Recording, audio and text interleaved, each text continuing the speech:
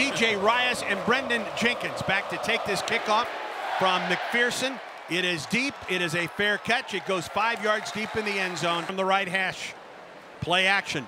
Thorne looks up the sideline. Down the sideline. Fair's got it at the 35 yard line and down at the 30. Jarquez Hunter remains the tailback for Auburn. Play action. Thorne with a pump fake. Throws it up the sideline. Wide open. Touchdown, Hollywood Hopes. Play action to Stanton. Hiers to throw. Pressured. Throws it up the boundary. And it's intercepted. Intercepted on the play. Great job by J.D. Rim right there, getting his head around, intercepting that pass. Play action, Hiers drops to throw. With pressure, he throws it, pass. It's picked off Jaylin Simpson, his third pick in as many games. And out of bounds at the Samford 21. Hunter flanks Thorne. From the gun, Thorne will throw. Looks up the middle. Thorne's going to run it. He's at the two. He's in! Payton Thorne for the touchdown run for Auburn. Clock is rolling, 137. First and 10 for Auburn at the Samford 44. Play action, Thorne.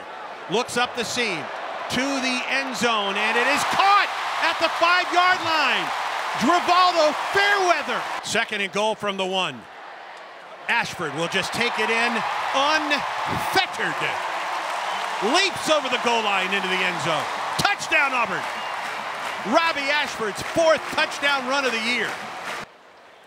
Thorne will take it himself around the right side, 35-30. He's to the 20, he's to the 10, he's to the 5, he dives to the pylon.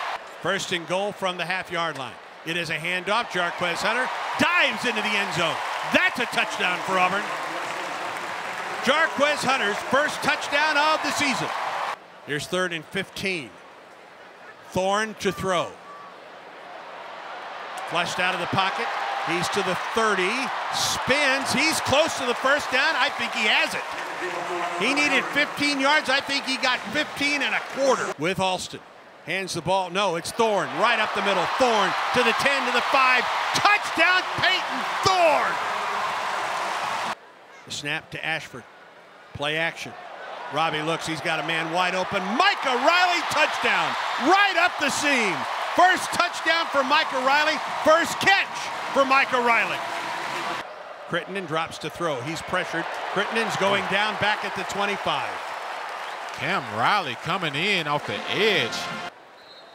And Ashford takes one to final knee, and that will be the final play of the day. The two head coaches, Hugh Freeze and Chris Hatcher, will meet at midfield. And the Tigers will come away on a homecoming night with a 45-13 win